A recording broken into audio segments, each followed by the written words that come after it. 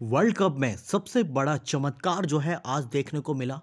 अफ़गानिस्तान ने जो है पाकिस्तान को जो है बिल्कुल रोन के रख दिया और 2023 से जो है उनकी जो है बाहर का रास्ता करा दिया, क्योंकि पाकिस्तान की लगातार तीसरी हार है और अब जो है वापसी करना पाकिस्तान के लिए बहुत ही मुश्किल है, क्योंकि पहले ही जो है टॉप पे जो है कई ऐसी ऐसी टीमें बनी हुई है जो एक या और एक भी मैच नहीं हारी है।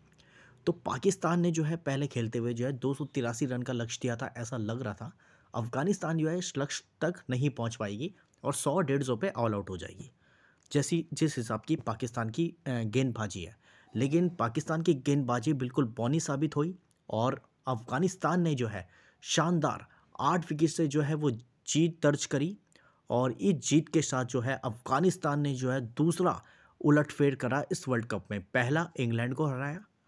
दूसरा अब पाकिस्तान को हराया।